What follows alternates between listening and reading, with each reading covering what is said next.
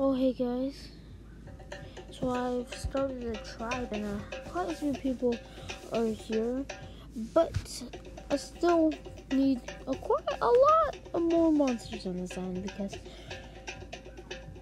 I only have one quad. I only have two one element, single elements, and then one double, and then one triple. So um, I'm not going to um, go ahead and use duplicates though. I'm not going to use duplicates. I'm just going to use like just a monster, like a monster. So like that I don't have. So you can't like pick, I guess, Noggin or Beat or Furcorn because they're already there. Bowgart Garden, Wallace you cannot switch to those guys because people are already those characters. So hopefully there's a character that you like that will be on Tribe.